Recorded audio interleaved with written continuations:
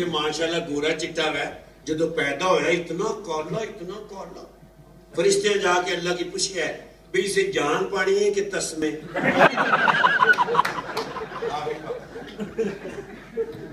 तुसे इथे मुलाजम ही हो ਤੂੰ ਤੇ ਜਦੋਂ ਪੈਦਾ ਹੋਇਆ ਐਡਾ ਪਤਲਾ ਸਾਡਾ ਸੁੱਕਾ ਹੋਇਆ जी ਤੇਰੇ ਅੱਬੇ ਨੇ ਤੈਨੂੰ ਬਾਹਾਂ ਤੇ ਪਾ ਕੇ ਮਹੱਲੇ ਨੂੰ ਖਾਇਆ ਦੇਖੋ ਮਹੱਲੇ ਵਾਲੇ ਮੇਰੇ ਘਰ ਪੁੱਤਰ ਹੋਇਆ ਤੈਨੂੰ ਮਿਲ ਕੇ ਮਹੱਲੇਦਾਰ ਤੇਰੇ ਅੱਬੇ ਨੂੰ ਕਹਿੰਦੇ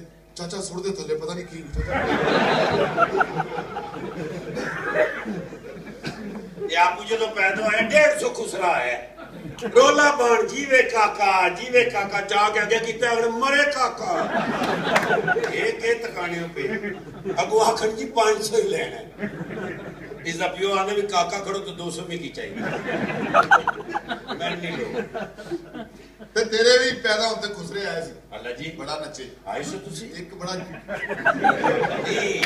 ਨਿੱਚੇ ਵਾਸਤੇ ਆਣੇ ਇੱਕ ਬੜਾ ਜਵਾਨ ਖੁਸਰਾ ਸੀ। ਅੱਲਾ। ਉਹਦੀ ਤਾਲੀ ਵਿੱਚ ਤੇਰਾ ਮੂੰਹ ਆਇਆ। ਐਸੀ ਗੱਲ ਨਹੀਂ ਇਧਰੋਂ ਤੱਕ। ਭਾਈ ਮੁਰਾਦ। ਇਧਰੋਂ ਤੱਕ। ਨਾ ਮੁਰਾਦ। ਲੋਕੀ ਮਿੱਕੀ ਭਾਈ ਮੁਰਾਦ ਆਖਣ ਕੈਸਾ ਲੱਗ ਰਿਹਾ। ਜ਼ਬਰਦਸਤ। ਯਾਰ ਤੂੰ ਰਿਸ਼ਤਾ ਵੇਖਣਾ ਹੈ ਕਿ ਪਲੰਬਰ ਹੈ ਤੂੰ?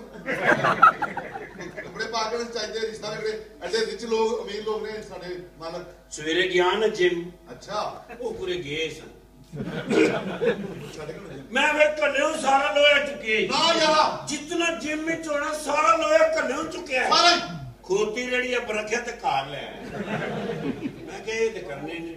ਮੂੰਹ ਦੇ ਨਾ ਚੁੱਕਿਆ ਫਿਰ ਨਹੀਂ ਆਪੂ ਚਾਹਿਆ ਨਾ। ਝੂਠਾ ਬੇਈਮਾਨ। ਕੀ ਹੋਇਆ 8 ਮਹੀਨੇ ਮੇਰੇ ਕੋਲ ਪੈਸੇ ਖਾਂਦਾ ਰਿਹਾ ਕਹਿੰਦਾ ਮੇਰੀ ਭੈਣ ਹਸਪਤਾਲ 'ਚ ਮੇਰੀ ਭੈਣ ਹਸਪਤਾਲ 'ਚ ਉਹ ਮੈਂ ਜਾ ਕੇ ਵੇਖਿਆ ਤਾਂ ਨਰਸ ਲੱਗੀ ਉੱਥੇ ਇੱਥੇ ਹਰ ਬੰਦੇ ਦੀ ਜਾਬ ਕਰਨੀ ਪੈਣੀ ਪੁੱਤਰ ਹਾਂ ਤੇ ਕਾਲਾ ਸੂਟ ਬਾਣਾ ਤੇ ਕਿਸ ਤਰ੍ਹਾਂ ਪਤਾ ਲੱਗਣਾ ਵੀ ਮੂੰਹ ਇੱਥੋਂ ਸ਼ੁਰੂ ਹੋਣਾ ਨਹੀਂ ਵੈਸੇ ਇਹ ਸੂਟ ਕਾਲੇ ਸੀ ਕਿ ਇਸ ਨੇ ਮੂੰਹ ਸਾਫ਼ ਕੀਤੇ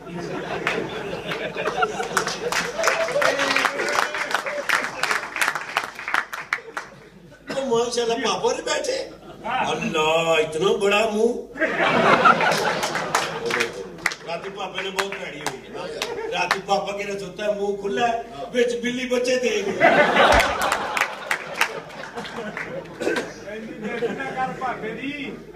ਬਾਬੇ ਯਾਰਾ ਕਾਰੋਬਾਰ ਵੱਡਾ ਕਰ ਤੂੰ ਮੂੰਹ ਵੱਡਾ ਕਰੀ ਜਾਂਦਾ। ਅੱਛਾ ਬਾਕੀ ਨੇ ਮੂੰਹ ਇਸ ਤਰ੍ਹਾਂ ਬੜਾ ਹੋਣਾ ਨਾ ਪਾਪੇ ਨੇ ਇਸ ਤਰ੍ਹਾਂ।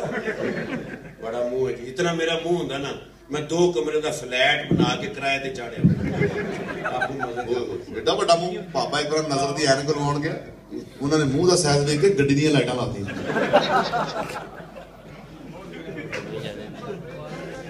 ਦੀ ਲੰਮ ਕੱਢ ਪਾਪਾ ਟੀਵੀ ਉੱਪਰ ਆਣਾ ਨਾ। ਪਾਪਾ ਹਾਂ। ਕਦੇ ਟੀਵੀ ਪਰ ਆਣਾ ਕਦੀ ਚਿੰਚੀ ਪਰ ਆਉਣਾ। ਇਸ ਦੀ ਮਰਜ਼ੀ ਹੈ ਜੋ ਮਰਜ਼ੀ ਕਰੇ।